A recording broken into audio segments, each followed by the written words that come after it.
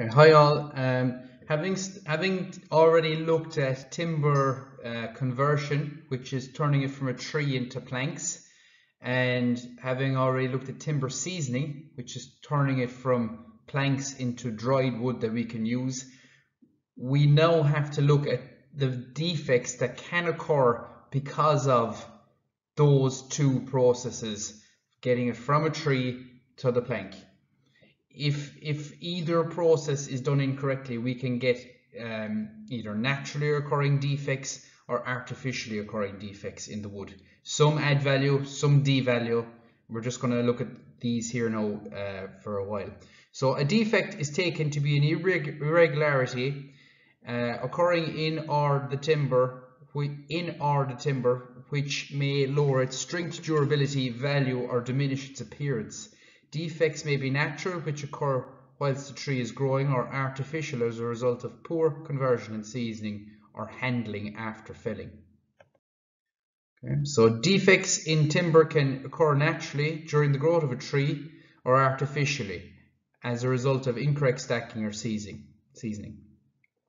Some defects can be decorative and very pleasing to the eye, so these will be kept like knots uh, others may cause problems during the manufacture of a project. Such defects must be overcome.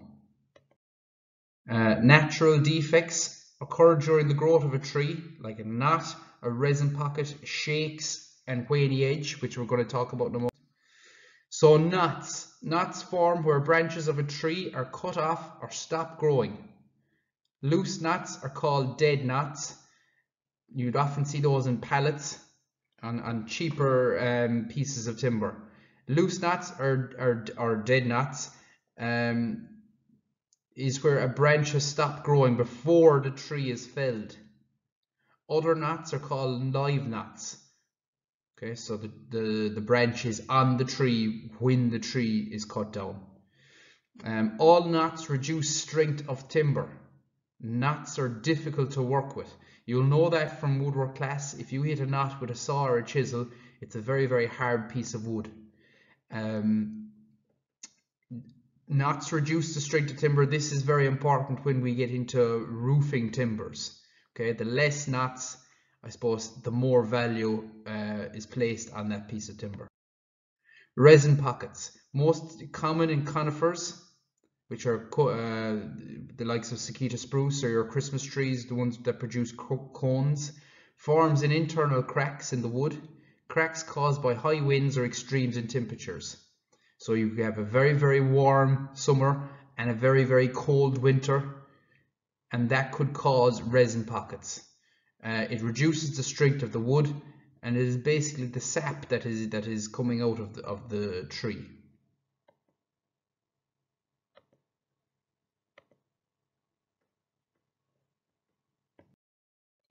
Um,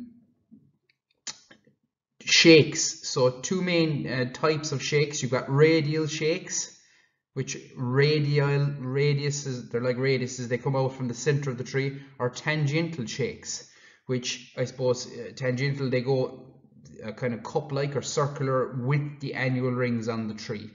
Shakes are split are splits in the in the ingrain of wood occur either in ray lines or with the annual rings, so radial or tangential.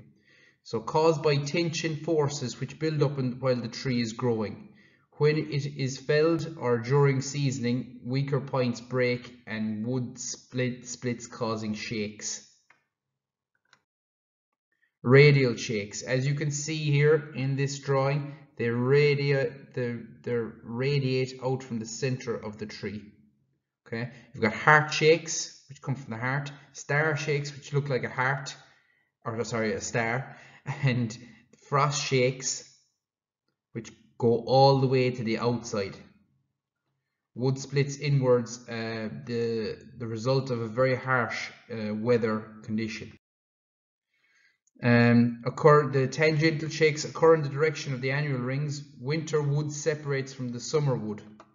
So you've got a cup shake that looks like a cup, and a ring shake that looks like a ring. Uh, Wany Edge, and I've just put in this picture here of the, I suppose, uh, an epoxy river.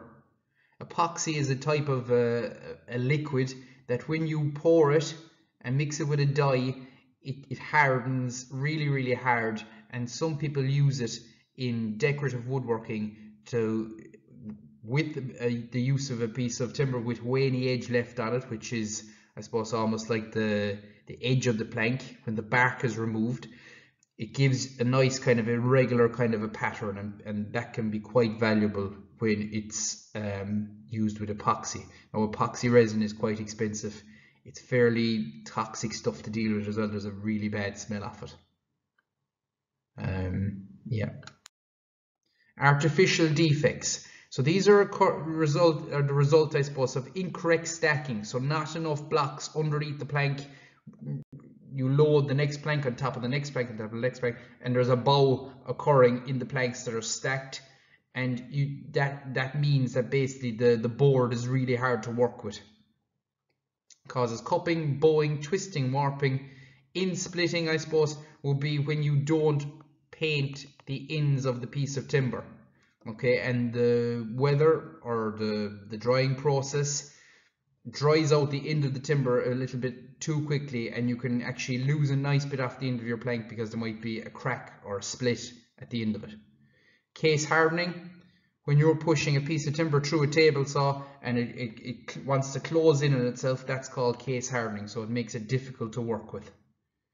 Um, a honeycomb check again that's like your your um, resin pocket so cupping, this can occur again, I suppose, where you have an area of heartwood in the middle and sapwood on the, the outside. It dries at two different rates in whatever seasoning process was taking place, and the board can cup as a result. Okay, so sapwood and heartwood in different drying rates. You, ideally, when you when, when you cut down the tree, you should try and split the heartwood from the sapwood, and that makes the seasoning process easier, which makes the inboard uh, more stable. Bowing, again, incorrect stacking. Twisting, again, occurs when opposite corners move in a similar direction and the plank loses its flatness as a result. Again, that can be as a result of incorrect, poor, incorrect stacking, not level ground. End splitting caused if the ends of the boards dry out too quickly, if they're not painted, if there isn't a rag thrown over the ends so that it doesn't dry out quicker, too quickly. Um, yeah. Case hardening, like that. Honeycomb checks occurs on the inside of the timber. Rapid drying causes the wood to shrink and internal fibers to split. This greatly reduces the strength of properties of the wood.